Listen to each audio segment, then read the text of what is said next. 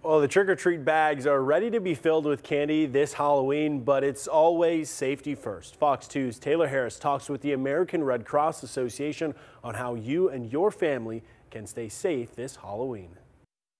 It is that time of year where ghosts and goblins take the streets and children are running door to door to fill their buckets with candy. It is important to make sure that safety is priority, especially when families are trick-or-treating this holiday season.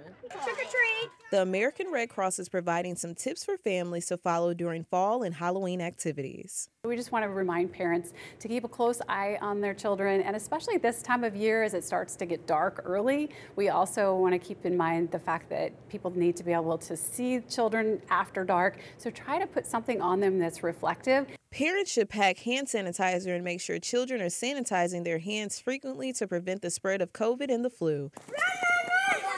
It's also important to avoid walking in the street and stay on the sidewalk when possible. So if you do have to be in the street, make sure you're as far over as possible and facing traffic when you're walking, and that way the cars can see you and you have an opportunity to be farther away from them or to get away from them. Make sure that you're considerate of others when trick or treating. Only visit homes with a porch light on and accept treats at the door. Never leave children unattended. Have a parent or responsible adult present, especially with younger children. After attending Halloween activities, an adult should check all candy before children indulge it.